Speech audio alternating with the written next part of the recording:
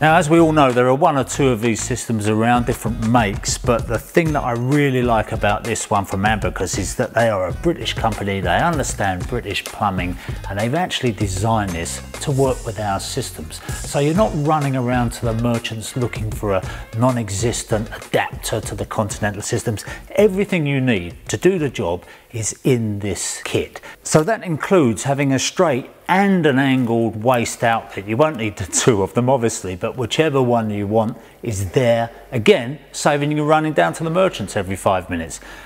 So as I put this together, you'll see a lot of unique features of this system that I think makes it the best one out there. So I know quite a number of plumbers who see an instruction booklet and then throw it away. That's crazy because there's quite a lot of good information in here and honestly there's some unique features that you won't want to miss on this system. I'm going to show you them in a video but the instruction booklet is there to refer to. Now the basis of all these wall hung systems is that you're going to create a pre-wall off the existing bathroom wall and that's going to be used for basically for your soil pipe. Now there was a time when we used to put the loo in and then run the soil pipe alongside and box that in and it just looks awful. I mean things have really moved on. This is neat, it's all hidden. So what we're basing it on is 225 millimeters in this case off the wall to the front of the, the frame and that's going to give us ample room for that soil pipe behind. And the thing about the Abacus package system if you like is that they even give you two sizes of bolts so that you can cope with whatever the installation is. So this is one of the rare occasions when you don't worry about having a few bits left over in the kit because they're giving you things you won't need just because they're giving you all those variations. Now, I know there are people out there who are going to be saying, hang on a minute, you mean I'm paying for bits I don't use? That's a bit of a waste. But actually, when you add it up, if you look at the cost of some other frames and then you go buying all the extra bits that you need to complete the installation, it can add up to a lot. This is a competitively priced frame. Even with all these extra bits in it, it really works out to be cost effective. Now, one of the things people worry about is you've got considerable weight onto a frame. I mean, people aren't getting any lighter for a start. So you need to make sure it's really secure. You've got about 65% of the weight going down into the floor. So there's some secure fixings in a floor plate. And then that means you've got 35% that's coming back from the wall. Now in this case, we're fitting to a stud wall. So what I want to do is use a bit of Unistrut to spread the load across the wall and actually we pick up the basin frame with it as well. Now the thing about the Unistrut is that the Abacus system is made to fit. They've actually got the fixings that will fit directly into the Unistrut so you're not having to build it up and add odd brackets. The first thing we need to do is to fix these plates down onto the floor and they do supply the fixings to do that but I know there's a lot of plumbers who are a bit nervous about going directly down onto chipboard floors. I mean, this is moisture resistant and it's fine. But if you are worried about it, if you think the floor won't take it, you can put a piece of ply through there as a of reinforcing. The important thing is that it comes up, here's the mark, this is one meter from the finished floor level. So it may be that putting that ply through, by the time you put your tiles on, it's the right height. But if it's not, you've got some adjustment in the feet. But the important thing is not to start raising that frame up too high because that's going to throw the whole installation out. Keep it at that meter and you'll be fine. Now a really great feature of this frame is that it's got these lovely large feet which means you've got a nice weight distribution there. I've fitted frames where they've got tiny silly little feet and you're trying to get the drill in and make a decent fixing. Honestly, it's really difficult. Well, this one, you can get down behind it and you can make the fixings very easily. And of course, you've got these rubber pads on the bottom which stop the noise transmission down into the building.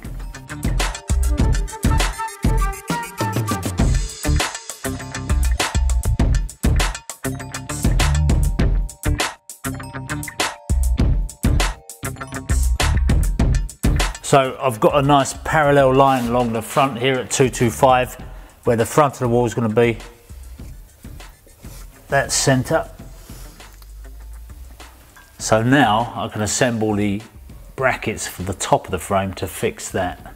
Now these are the wall brackets, they've got ABS to stop that noise transmission and the great thing about this is that you can use them that way if you're going into a unistrut or if you're going into a bit of timber or something like that you can put them on the side or that way means you can get the drill in. But I would just say that if you do that and you've got a basin frame coming in very close, you may find those two brackets touch each other. So in that case, you would just turn it round. But easy enough. There's no bolt cutting to be done.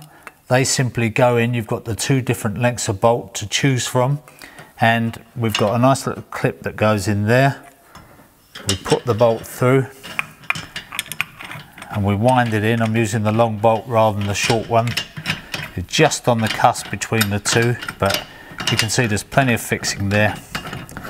And when I'm happy, I put that in to lock us in place. So just another thing they've really thought about here is that whichever way this bracket goes round, it's still level with the top of the frame. So if you're mounting a shelf, you don't have to worry about putting any extra stud work in. You can just run the shelf from there to there and it's supported. Now I'm going to just work out where the unistrut's going to go in place, fix that on the wall and we're ready to go. And how clever is this? This little clip lock nut that holds it in place simply clips on there and turns around to hold it. Now I can just get that groove to line up with where the unistrut's going to go and mark that on the wall.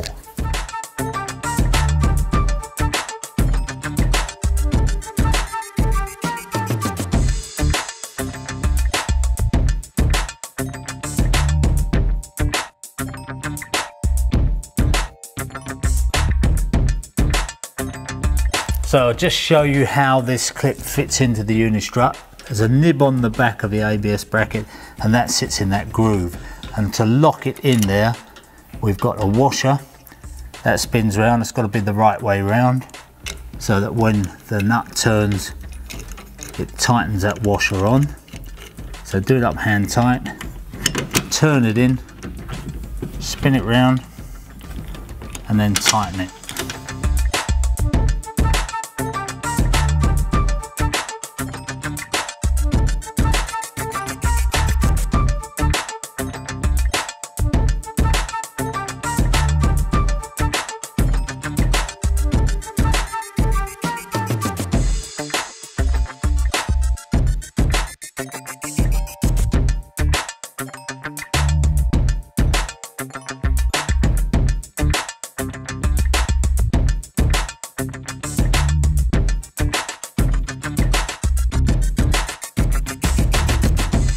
When you're using a floor mounted pan, the height is predetermined, you can't change it. But with a wall mounted pan, obviously it can change, it can go up or down. And I've had, let's call them discussions with customers over whether the pan has been at the right height or not. Obviously some people are short, some people are tall, they may want it differently. But the important thing is that you establish all this before you fix the top work out what your floor build up is going to be, whether you've got underfloor heating or whatever in there, and obviously the tile. It also helps to have the pan. Now I know that to the center of the bolt here, I'm looking for 320 millimeters off the finished floor level and that's spot on there. So now I know that, I can fix the top. If that needed to be altered, it can be altered very easily by these bolts on the side here. You can move it up or down. But the important thing is that you must do that before you fix it finally because when you've got it all tiled and everything else, it's a very difficult thing to put right. So that's pretty solid, I'm really pleased with that. So now I can carry on with my first fix, get my carcassing finished and I've got the choice of connectors in the kit. These can cost you quite a bit of money if you have to go out and buy them extra, but I'm going to use the bent connector on this one.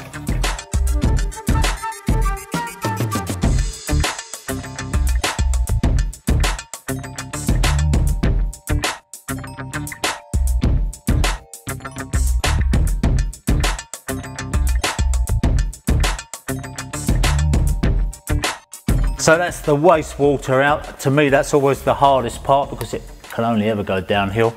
And we're going to pop these on here to protect the threads while we're doing the tiling. Those bolts can be adjusted in or out afterwards, by the way, to suit the pan.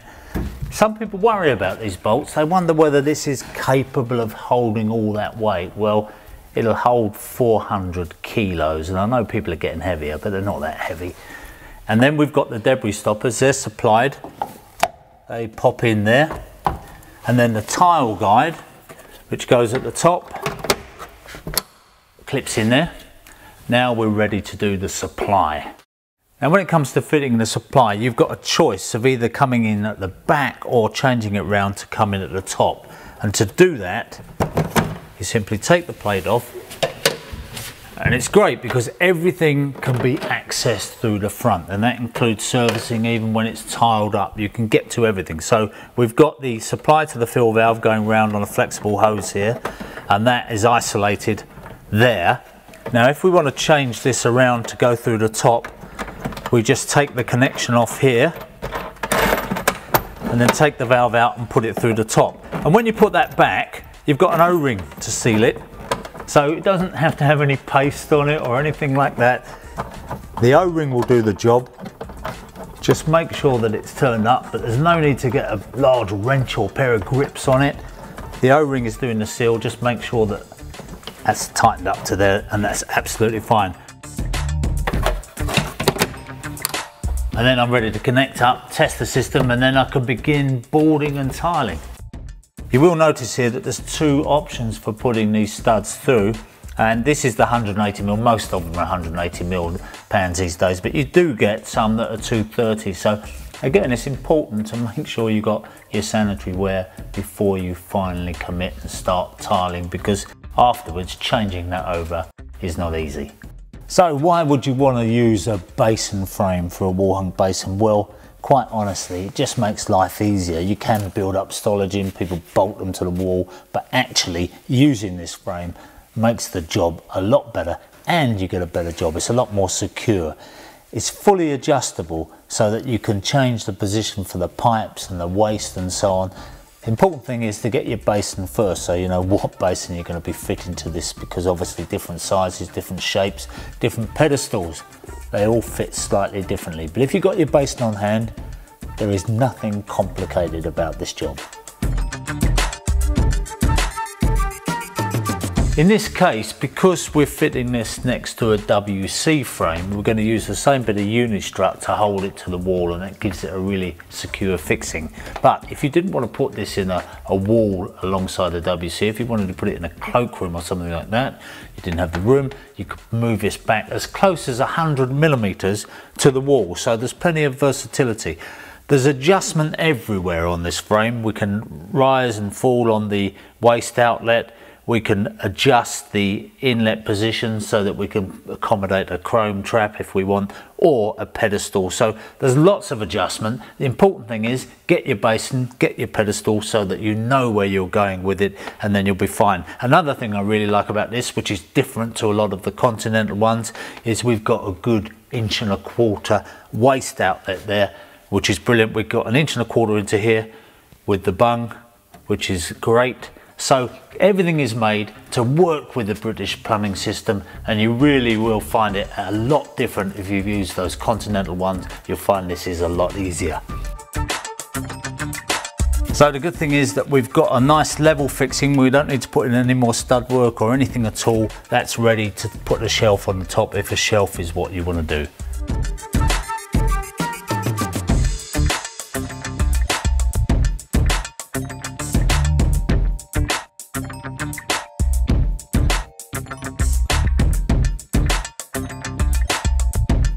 So now I've got that frame securely fixed, there's still actually adjustment here.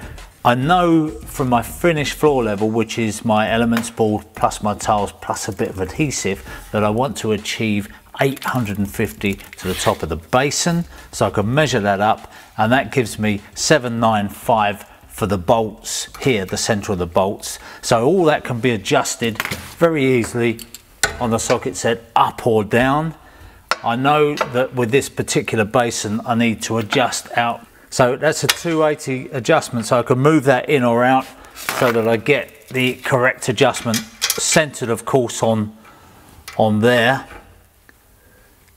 And I can also by doing a trial fit, and I would recommend a trial fit at this stage of just put the basin up, check where your trap is going to go, where your waste is going to go, because you've got a rise and fall here, so we can go up or down with that. We can also go in or out, or up or down with our pipe connections there. So we're ready to go. Once we start that tiling, the basin's going to go on there perfectly and everything's going to line up. So once we've established exactly where all those are going to go, we can start our boarding and our tiling and we know we haven't got to make any adjustments afterwards. Okay, so now I've got the frame in position. You can see that everything's adjusted, everything's in place to suit that particular basin. And I've got the bolts in here. The great thing about these bolts is that unlike somewhere you've got to cut them to length and worry about, with these you can just wind them back and forth so that you've got them at exactly the right length. So that's a really good feature. And then I just pop on a couple of sleeves here just to stop the tile adhesive clogging the threads and also protect your eyes. And here we've got some debris stoppers to go in the end so that when we do the boarding and tiling, nothing gets in there. But also, if you put a bit of PTFE tape around these, you'll find that you can use them to test the whole system, to test your carcassing up before you start boarding. So we're absolutely sure that everything behind there is leak free and it's ready to go. And you know, I hear a lot of plumbers moaning about the way plumbing's going these days. They talk about plastic fittings and all the rest of it. And I must admit, I think it did go through a bit of a low spot, you know, for maybe 20 years or so. But I think now there's some real design and innovation coming into plumbing that is helping us. And if I was a young plumber starting out today, I'd be really pleased to be using kit like this. So that's the first fix done, and now we're ready for boarding and tiling.